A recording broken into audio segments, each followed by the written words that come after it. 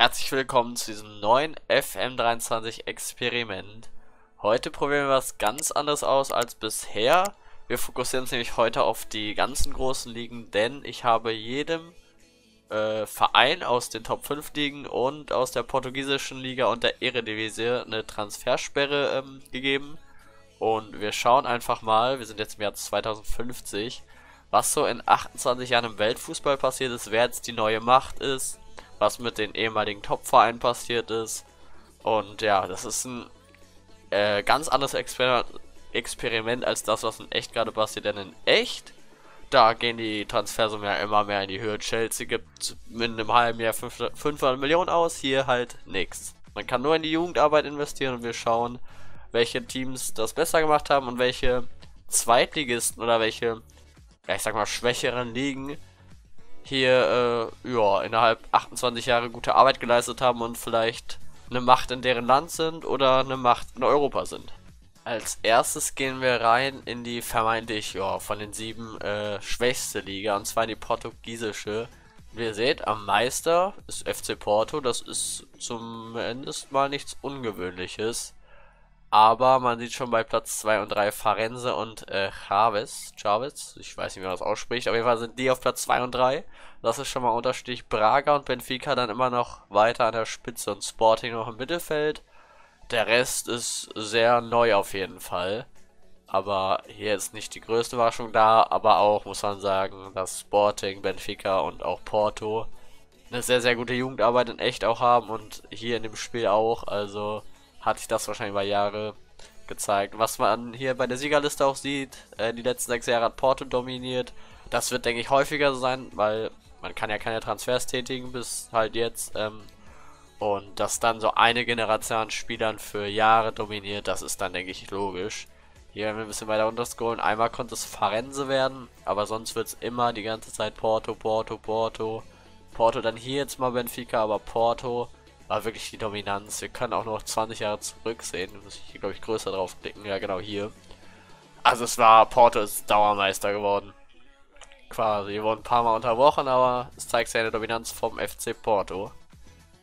Wir sehen auch, die Eredivisie ist ganz schön abgekackt. Die sind nur noch die 13. Top-Liga. Also die haben richtig reingeschissen, obwohl, man muss ja sagen, obwohl Ajax eine verdammt gute Jugendarbeit hat. Und da schauen wir jetzt einfach mal rein. Da sehen wir es auch direkt. Äh, Zwolle ist aktuell Meister und Ajax ist nur Sechster. Also die gute Jugendarbeit konnten sie nicht halten. Ähm, ich glaube, ich habe hier... Na doch, ich habe die zweite Liga simuliert. Aus Holland, aber hier hat sich sehr, sehr wenig getan. Man erkennt immer noch, viele Vereine sind auch heute, heutzutage, also echt jetzt, wir reden vom echten Spiel auch in der ersten Liga, da hat sich nicht so viel getan. Aber man sieht, äh, Zwolle ist Meister, Feyenoord immer noch oben und PSV nur Neunter. Und hier rechts in der Siegerliste erkennt man auch Zwolle, ja, in den letzten Jahren auf jeden Fall dominant. Twente war mal da, Utrecht, Zwolle, Groningen, da auch mal Ajax, Zwolle. Davor war halt sehr viel Ajax, glaube ich, wenn wir hier auf die Gesamttabelle gucken. Überwiegend Ajax, auch mal Feyenoord und auch relativ oft zwischendrin äh, PS, äh, PSV, nicht PSG. Jetzt gehen wir in die äh, fünfte Liga von den Top 5 Ligen. Ich glaube, die Bundesliga machen wir zuletzt, weil das ist, betrifft die meisten von euch, würde ich sagen, weil das ist noch so die spannendste Liga. Wir machen jetzt aber erstmal in Frankreich weiter. Ja, hier ist es wie gewohnt, Paris am besten. Gut, haben das meiste Geld, haben wahrscheinlich auch die besten Jugendarbeiten. Und hier rechts in der Siegerliste sehen wir fünfmal Paris, zweimal Lille, überwiegend halt Paris. Aber hier wird es ganz schön spannend. Da kam einmal Monaco und hier mal Angers und Ajaccio, die sich hier mal drum geschnitten haben. Auch mal Reims aber sonst sehr oft PSG. Hier können wir auch sehen Rennes und Brest und ein paar Mal Monaco. Ja, aber Dominanz von PS, äh, PS, mein Gott, Paris, so, ist geblieben. Auch sehr interessant. So, was in der Serie A abging, ist wirklich, ich glaube, das ist eine der wildesten Tabellen, die wir hier so sehen. Inter ist hier abgestiegen tatsächlich. Roma, also die AS Roma, hat es ganz knapp geschafft, äh, in der Liga zu bleiben. Juventus noch ein Mittelfeldteam. Milan ja, hat die europäischen Plätze verpasst. Neapel ist immer noch Champions League, aber der meiste ist einfach Bari. Ich weiß nicht mehr, was Bari ist. Wir können hier in die Chronik sehen. Die kam ganz aus der Serie C sogar. Also, ja, jetzt sind die hier meistens auf Platz 2 und 3, kennt man nicht. Tanana und Brianza und Pisa auf 5. Das ist sehr wild. Aber irgendein Spitzenteam Lazio, ich weiß nicht, Lazio ist hier nicht, glaube ich. Ne, Lazio fehlt auf jeden Fall. Die sind einfach abgestiegen, da können wir gleich nochmal nachschauen. Ja, wir sind auch hier in Serie B, sind große Teams wie Florenz, Lazio oder auch Atalanta und Udinese geht sogar in Serie C runter. Das ist schon sehr wild. Aber jetzt gucken wir nochmal auf die ähm, Siegerliste der Serie A. Ja, hier sehen wir Bari war es ja zuletzt und davor zweimal Neapel, dann Ternana. Milan konnte es vor ein paar Jahren auch mal werden. Ternana, ja, die hatten ihre vier guten Jahre. Na gut, sind immer noch gut. Dann war es ein wilder Mix. Hier war tatsächlich keine Generation so richtig dominant. Juve zweimal, äh, Neapel ein paar Mal, Milan ein paar Mal, Juventus, auch mal Inter. Also, das war ganz schön abwechslungsreich. Gut, am Anfang der Karriere war es Inter oder Juve sehr oft. Da haben die sich eigentlich nur gestritten, bis dann irgendwann Milan dazwischen gefunkt ist. Gut, dann gehen wir weiter in die La Liga. Oh, hier könnte man auch meinen, es ist nichts passiert. Atletico zwar Meister, ist relativ ungewöhnlich, aber Real auf Platz 2 und Barcelona auf Platz 3. Auch Villarreal auf Platz 4 und Valencia auf 5 ist nichts Ungewöhnliches. Können wir eigentlich direkt auf die Siegerliste schauen. Da sehen wir Atletico Madrid hat zuletzt ja gewonnen. Davor fünfmal Real Madrid. Dann mal Barcelona, Real.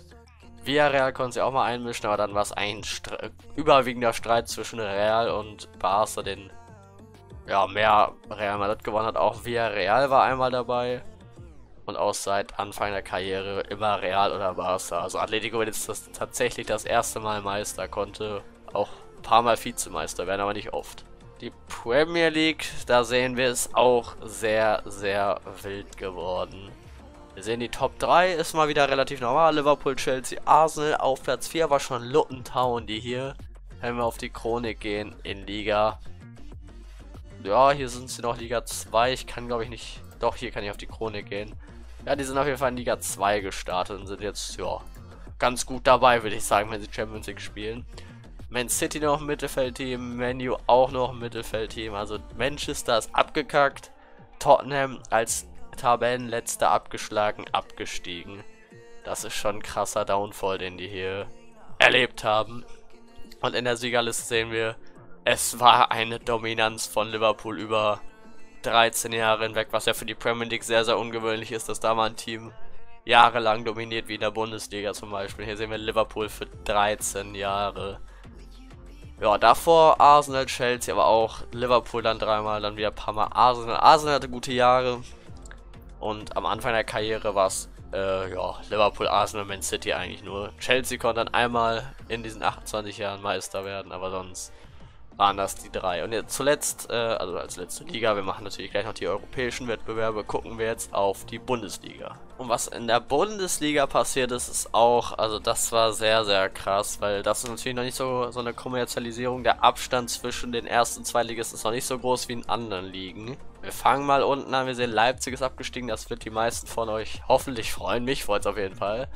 Ja, Dortmund auf Platz 15 ist natürlich, ja, die konnten ihre, ihre guten Champions League Gelder auf jeden Fall nicht äh, in die Jugendarbeit äh, ja, investieren, sage ich mal.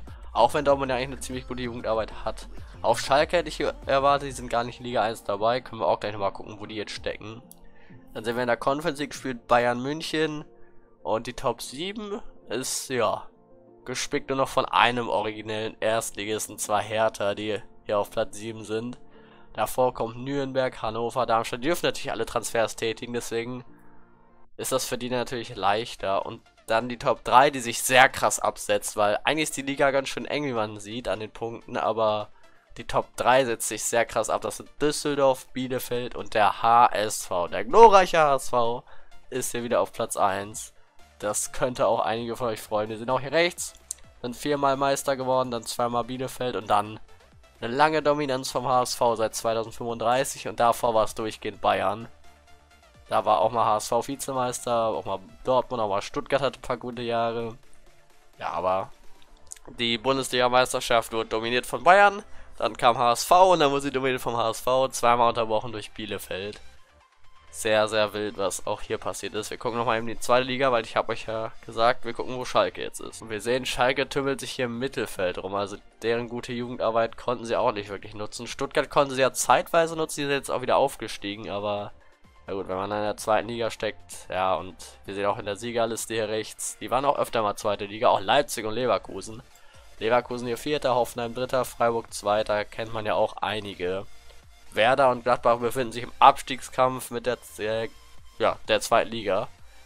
Und dann gucken wir nochmal eben in die dritte Liga, ob wir da auch noch einen bekannten Bundesligisten finden. Wir sehen auf jeden Fall, dass die Zweitmannschaften der äh, guten Bundesligisten hier Hertha und Hannover und Düsseldorf mit dabei sind. Aber aufgestiegen sind dann tatsächlich Eintracht Frankfurt, die hier sehr krass abgekackt sind. Und Kräuter führt. Köln befindet sich mittlerweile auch in der dritten Liga. Bochum, auch Union Berlin, und ich habe Augsburg irgendwie gar nicht gesehen. Also die können noch weiter abgekackt sein. Das sehe ich hier nur nicht, weil ich habe keine Mod. Ich sehe nur die ersten drei Ligen. Also vielleicht habe ich Augsburg auch verpasst, aber hier sehe ich sie nicht. Ich habe sie gefunden. Sind in der zweiten Liga da, dann war es nur mein Fehler. So, wir sind jetzt in der Conference League. Die hat ja hier sowieso am Anfang, wie ihr seht, erst mit Roma begonnen. Das kennen wir alle noch. Und auch Villarreal. Wissen. Ne, Villarreal ist auch schon in der Karriere passiert. Dann ist alles gut. Hab nichts gesagt. Dann sehen wir auch, aber auch einen sehr wilden Mix äh, an Conference League-Siegern. Klar, mal ein paar aus Top-Ligen, Aston Villa, Monaco, West Ham, auch mal Atalanta kennt man. Hoffenheim als Deutscher, Chelsea sogar 34, 35. Da waren die sogar Meister, glaube ich. Das müsste das Jahr ungefähr gewesen sein. Dortmund konnte es 38, 39 auch werden. Da merkt man schon den Downfall. Aber vorher auch mal Chelsea wieder. Tottenham konnte es 46, 47 werden, die ja jetzt abgestiegen sind. Davor Manchester United. Da sieht man auch, Nürnberg war zweimal im Finale. Aber beides mal verloren. Oft äh, sehen wir den Sieger aus der Premier League. Also die scheint immer noch sehr dominant zu sein, was den europäischen Fußball angeht. Dann kommen wir jetzt zu den etwas spannenderen Wettbewerben, aber wir beginnen erstmal mit der Europa League. Hier können wir sehen, dass auch hier die Premier League äh, relativ dominant ist. Arsenal direkt gewonnen. Dann auch Juve. Da waren ja natürlich die Kader auch noch relativ stark. Inzwischen nochmal Milan, Tottenham, Manu und Chelsea, die ein paar Jahre darauf auch die äh, Conference League gewonnen haben. Chelsea hier auch mehrmals vertreten. Da war 28, 29 Manchester United gegen Borussia Dortmund im Finale. Wildes Finale dafür, dass es in Anführungsstrichen nur die Europa League ist. Auch Tottenham konnte mal gewinnen. City, also man merkt überwiegend Premier League, klar auch mal Real Hispalis, also Betis Sevilla dabei. Aber wenn man weiter oben guckt, äh, Manchester United und Manchester City sind oft äh, auch hier vertreten. Also Conference League und Europa League. Also Dortmund war hier nochmal im Finale, auch Bayern war mal im Finale 2043 gegen Cardiff. Wolfsburg hier 33, 34 auch Stuttgart. Also einige deutsche Feinde konnten zumindest ins Finale schaffen, weniger haben dann auch gewonnen. Aber 49, 50, also das letzte Jahr sehen wir, Bari den portugiesischen Meister, wer Zweiter geworden ist gegen Darmstadt. Also haben wir zuletzt auf jeden Fall einen deutschen Sieger. Und jetzt gucken wir nochmal in die Champions League rein. Wir sehen hier anfangs eine sehr ja, klare Dominanz der Premier League in, in, innerhalb der ersten sechs Jahre. Einmal konnte Real Madrid werden, aber sonst City, Arsenal und Liverpool. Danach kam eine größere Dominanz von Barcelona und Real Madrid. Zwischendrin kommt mal Watford, die Champions League gewinnen. Danach wurde es äh, ein bisschen Premier League lastig mit Liverpool und Bournemouth. Bournemouth hier im Finale auch gegen HSV. Also sehr, sehr wild, was hier mit diesem Szenario in einigen Jahren mit dem HSV passiert. Dann, ja, Barcelona mal, Atletico, auch Watford hier 1939, 40 gegen Liverpool. Also sie konnten sogar zweimal gewinnen. Dann mal Villarreal wieder, die vorhin ja auch die Conference League mal gewonnen hatten. Dann zum Ende hin wieder Liverpool, Barca, aber hier tatsächlich auch zweimal der HSV. Also HSV, dem stehen glorreiche Zeiten dann bevor und zum Ende nochmal zweimal Villarreal, aber so eine richtige Dominanz eines Vereins konnten wir nicht erkennen. Klar, Barcelona hat sehr oft gewonnen, aber so, so eine richtig, richtig krasse Dominanz, weil das sind sechsmal jetzt in ungefähr zehn Jahren. Das hat Real Madrid jetzt auch geschafft, auch in, also in echt, wo Real ja auch sehr dominant war. Also Schon eine kleine Dominanz, aber keine sehr riesige. Ja, ich glaube, wir haben jetzt einen groben Überblick über diesen Spielstand mit 28 Jahren Transfersperre erhalten. Wenn ihr noch Wünsche habt, was ich euch zeigen soll, kann ich natürlich hier immer reingucken. Schreibt einfach in die Kommentare ein paar Fragen. Ich gucke dann, ob ich sie beantworten kann. Ähm, ja, sonst lasst gerne ein Like da, abonniert auch gerne den Kanal, wenn ihr weitere solche Videos sehen wollt. Ähm, da werden auf jeden Fall in Zukunft weitere kommen. Ja, äh, schreibt gerne Kommentare, habe ich schon gesagt, glaube ich. Dann war's das. Äh, ciao.